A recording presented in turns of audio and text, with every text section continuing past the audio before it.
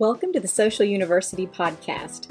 We are so glad you're joining us today because we want to help business owners, entrepreneurs, and people just like you who want to build their business online. Listen, if we can do it, you can do it. So let's go.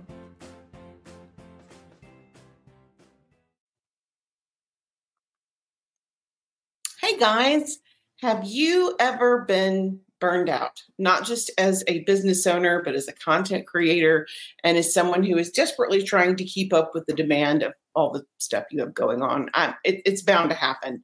So, we're going to talk today about how to repurpose content to kind of streamline so that you don't have to constantly be creating new content all the time.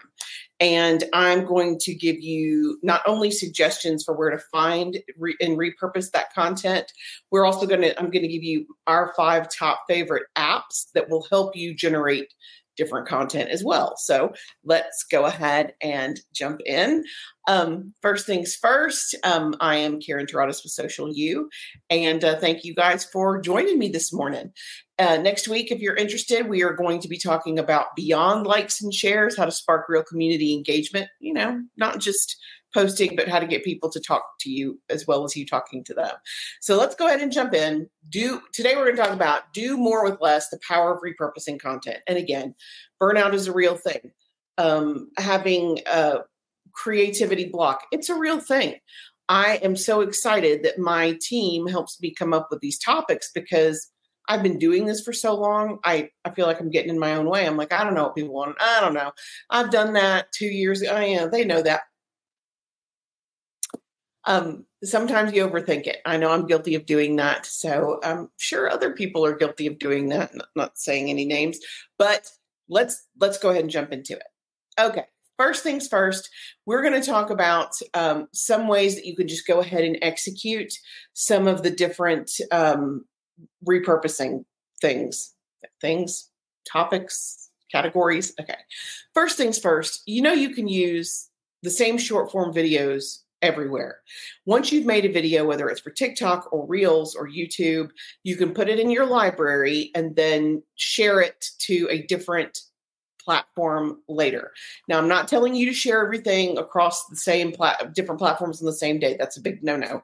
But I am saying let let's say you're not quite ready to start on TikTok all those reels that you've been doing, you can put them in your video library and then go back and pull that content at a later time.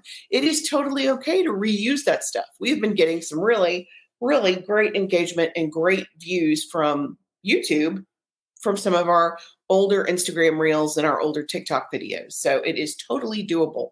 Um, something else is social media cross posting in general. It's when you take uh, something from a different platform and repurpose it for this platform. So let's say you have a really high performing post from Facebook last week. Can you then in turn put it on LinkedIn? Yeah, there's a good chance you can. You're probably going to have to change the caption and resize the photo, but it is doable. You can also reuse just about any non seasonal content after three to six months. You don't want to keep like a running rotation of the same content. But statistically, if you had a post that did really well three months ago, it's going to do really well again. Again, statistically, if it got about 20 likes last time, it'll get about 20 likes this time. People like what they like, and it will normally do as well, if not better, than what it did before. That's just the way it is. Um, now, of course, non seasonal content, you really can't post uh, Christmas in July unless you're doing a promotion that's Christmas in July, in which case you can. But um, yeah, you can reuse. If it was good once, it'll be good again. And a lot of content for a lot of creators is evergreen. So you can use it wherever you want to, especially if it's funny. Funny does really well. Okay. You can do a transcription um, where you transcribe a video to a blog. This is something that we do constantly. Every time I do this kind of training and give information, one of our team then transcribes these videos and we repurpose it as blog content because you and we use three to five different graphics on each blog. That way we can post it to LinkedIn we can pin the same blog or post the same blog across every single platform on the same day because we're using different graphics with it. It looks like different information, different caption, same information where you can use it everywhere. You have to get more proficient at recycling because you don't have time to reinvent the wheel every time you need content. It is, um, it's, yeah, a lot. Becky says, speaking of funny content, people need to check out the Social U podcast. Yeah, the one we had last week has a very interesting name. um, whoever names those, Becky, um, does a really good job because those things are hilarious. Uh, thanks for the thanks for the reminder, Becky. Okay, so you can also pull a quote from a blog or video or graphic. So my team uh, will just use this this as an example. I'm going to talk to you about five different apps for repurposing content. That can be a series over the next five weeks on Facebook where they post one app a week and tell you what it does, how much it costs, and why it's beneficial to you. So that one blog post is now giving us five different um, five different posts and that's just one platform. You can mix it up and do i mean all kinds of things. If you're in real estate and you're talking about how to um, weatherproof your house against the heat and there's 10 tips you can spread that out in a 10 week series. There's all kinds of things you can do just as an example. Um, you can also add different graphics to a previous blog. If you have a blog that is relevant and the information is still good you can totally refresh it and republish it I'm not saying delete it from the original post. You want to keep that up there for Google. But if we are do if I'm talking to you about imposter syndrome and it's the same information as it was previously, I can change the graphics and update the title and it looks like brand new content. So if you're on vacation and you just can't do a video or you just can't do a blog, it is totally okay to repurpose something that's functional. You want to check your Google Analytics and make sure you're using something that is um, performed well before. You wouldn't pull something that didn't do well the first time.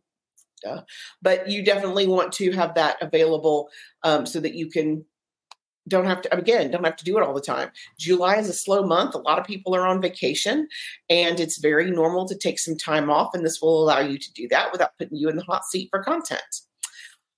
Okay um, converting a blog to an infographic. Again we could go in i'll use this video as the example. Uh, it would be very simple to go into canva pick out a template and say the top five apps for repurposing or recycling content and then put them fill them in because it's a template very simple fill it in and then use that as a post literally everywhere because people people do love a good infographic for real um okay you okay con- convert blog to I, I do like infographics and you can use that on any any list format that you have um, you could even do it as it like a team introduction, just an idea. Okay, convert your blog into a checklist or cheat sheet. People love themselves a cheat sheet or checklist. They also like quizzes. So you can convert any material into different looking material if you just put it in a different format and change the wording a little bit. So, like for example, for this one, it would be titled, um, let's see how many, uh, seven, I've said, oh, 17. Um, it would be 17 ideas to repurpose your content. It would be a checklist. So very simple. And it would look very different. Um, using slides from a presentation where you pull a single image. I will have to give kudos where kudos are due. I do a ton of presentations, I do a ton of training, and my team creates my slides. And uh, Becky bang on uh, some of the best stuff I've ever had. She is fast and proficient, and those slides are amazing. It would be, and I, I love stats. We do a lot of stats. I was one of those kids that got told because I said so one too many times when I was a kid. I hate that. I want to know why. Don't just tell me that I need to be on LinkedIn because it's a, the right thing to do. Tell me why I need to be on LinkedIn. So that being said, I love stats. So my team could go through our and we have so many to so many to pick from. And those slides are beautiful and they're all branded very well. And they could pick those and do a statistics series on any platform because I teach on every platform. So um, that that's a great idea. If you if you've done presentations, use your slides. You can also go from audio to video and I'm going to talk to you about an app that will do that, but you can rip audio from a video you've done and use it as your podcast. Have you not started a podcast? Do you need help with that? Uh, we can help you with that. We have a starter kit um, uh, post that tells you about very inexpensive uh, tools that we use to start our own podcast. And uh, basically, it's like a really simple 101 to kind of walk you through it. And I think that would probably be a really good uh, podcasting 101 getting started would be a really good topic of content you guys let me know what you think about that in the um, in the comments below. Okay, Throwback Thursday. If you have, um, and I'm just using Throwback Thursday, people don't really use that hashtag very much anymore. However, again, old content that was good is still good content. And when I say throwback, I'm talking about two milestones, two um, things that, like our anniversary, um, we turn 14 Ooh, in uh, August, this in this next month, we will have been doing this exclusively social media for 14 years. That's a big milestone. Uh, anniversaries with employees, when you started, you know, if you offer a product or service, when that s- service started, when you opened a different branch, these are great milestones to shout out when you are looking for content. User generated content I cannot tell you how awesome it is. It doesn't matter if the images are perfect, it doesn't matter if the video sound is not quite right. People love seeing user generated content. For starters, third party endorsement goes a long way. Amazon has built their business on it. So is Yelp and all of those other places that are asking you for reviews. They they love third party. And when you share something from one of your fans who likes you, all of the people who follow them are going to see it and it validates your service to their connected friends and family. So, user generated content, even if it's older, if it's still relevant, use it. Testimonials in particular are a good one. And I, you know, that's of course coming up in the next like two points, but yes, user generated content. You can also break down lists into single posts. So if you have a list, if you find a cool article on Pinterest or you find a cool article online, you can break it down into single pieces. Very simple to do. Testimonials, again, you can never go wrong with a testimonial. I am the same Caryn that I was when I did this five years ago. So if we got a compliment on our services five years ago, I can still use that testimonial today. That's just how it works. Um, and then the last one I have is vendor or partner highlights. One, like for example, we like I like small business, and we shout out small business weekly on Instagram because we work. I love the vendors we work with. We're very loyal to our vendors. We've been with them for years and years, and I feel like I would be doing our audience a disservice if I didn't share that information with people because they're just so good. Um, WP SiteMason for hosting and website creation uh, enthusiasts with Lisa Shook for marketing messaging. It's just they're they're great to work with. We do have some really good vendors, um, and then there's local. I, I will always you will always hear me go on and on about Alabama Goods. I love them. I've been shopping there since they were very first opened. Love them. Love local. Buy local. Buy local. Okay, now let's talk about some apps to recycle. I have five that I'm going to touch on. You've probably heard of some, and I bet you there's at least one of these you did not know about. So, first and foremost, any kind of AI can help you to recreate a blog or recreate a caption, or you can, like Chat GPT, you can take your blog and load it in there and ask it to pull out quotes, and it will. Give me the top five um, best quotes from this article. It streamlines it so you don't have to worry about doing it yourself. It makes it so much easier for you. You have to use what's available to you. I am partial to Gemini. I like the chat G- the Google's version of Chat GPT, which is Gemini, um, because it's the information is a little more up to date. Um, and I'm partial to Google. Yeah, Gemini. Um, number two, Waave, and that's W A A V E. It lets you turn your podcast or audio into an animated video, which is very cool. So if you are recording, and you may be one of these folks that doesn't like to get in front of a camera, that's totally okay. Or you may have a podcast that you love, you can then in turn turn around with Waave and make those clips into animated videos, which you can use, of course, anywhere. It is $19 a month, which is not bad at all. So it and it gives you another option. Number three, I love this option. My we have mixed feelings in my team. Some love it, some don't love it. Lumen L U M E N five. It, the way they have it written out, when you see it, it looks like lumens instead of lumen five. It uh, allows you to transform articles and blog posts into video content. Okay, how does that work? You take your URL, and it's free. There's a free version you can pay if you want to pay. It's $59 per month. It does give you access to more templates and it removes their logo, of course. But you take your URL from your blog and you put it into Lumen 5 and it will automatically pull the graphics it wants to use. It will add graphics where needed to kind of round out what you have and it will pull the points that it thinks are important. So it will auto generate and then all you have to do is proofread it and edit and you've got a video. Very easy it beats the heck out of trying to go through and do all that stuff by hand. It's just a faster way to do it.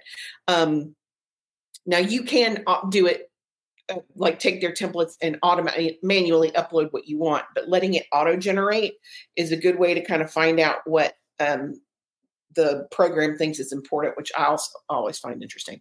So Lumen 5, and try the free version to see if you like it. Okay, Canva. We're going to talk about very, four very specific tools that are available on Canva that will help you uh, repurpose content. Number one is the infographic templates. If you have not taken time to look at the infographic templates, do it do it now. Stop what you're doing well don't stop what you're doing with me obviously but when you're done run and go look at the infographics because they have some great templates so very effective. Um, the second canva feature would be a video background with some content or same content. So let's say you posted this awesome testimonial uh, six months ago and you want to post it again. You can go into canva's video library and add a related background video, copyright free, and put your information, your quote over the top of it. Or even better, we keep a file of B-roll footage of our team. So if it's, let's say the um, the testimonial is talking about how awesome excuse me, how awesome they think Jaden is. So if we have B-roll footage of Jaden working at her computer, it would make total sense to use that video as a background for a testimonial about her. That makes sense.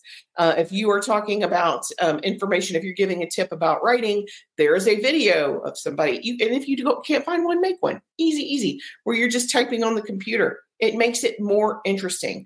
And there are some really cool features that you can add that will dress up just about anything and make it look different. Mm. The next Canva uh, feature is called Magic Switch. Very easy. It resizes your content. So if you want to use the same graphic on Facebook that you do on Instagram, it resizes it automatically, makes it easy to use, not awkward. And then the last Canva tool is Magic Write.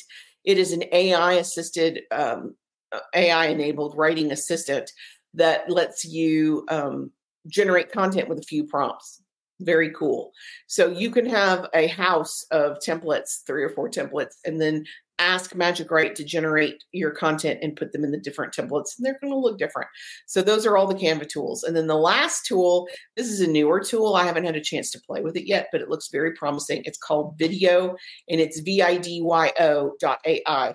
It breaks long video into shorter clips. So if you have like this video right here, we could load it into that app and it would break it into pieces that are manageable, that make sense, where you don't have to sit down and watch the whole thing and cut it and cut it. It makes it so much easier to do that. Um, there are several different apps that will do that. This is one of many, but it is, again, it's rated very highly. And we're going to experiment with it and then we'll come back and give you uh, a report on whether it's a yay or nay. So um, that is it for me today. Please, please join us next week when we are going to talk about uh, beyond likes and shares, about how to spark real community engagement, because that's seriously, that's what it's all about. If you guys have heard me talk about trends and what's happening right now, community is is huge. You have to build your community and uh, you know that transparency and that genuine wanting to help your your followers. It it translates.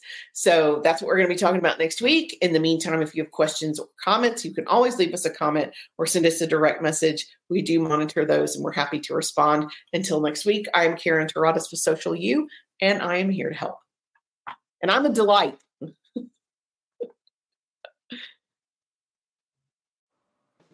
Thanks for joining us for the Social University podcast. We hope you enjoyed it. Be sure to follow us on all of our social media at Stay Social U. That's the letter U. And we will talk to you next week. Remember, you've got this.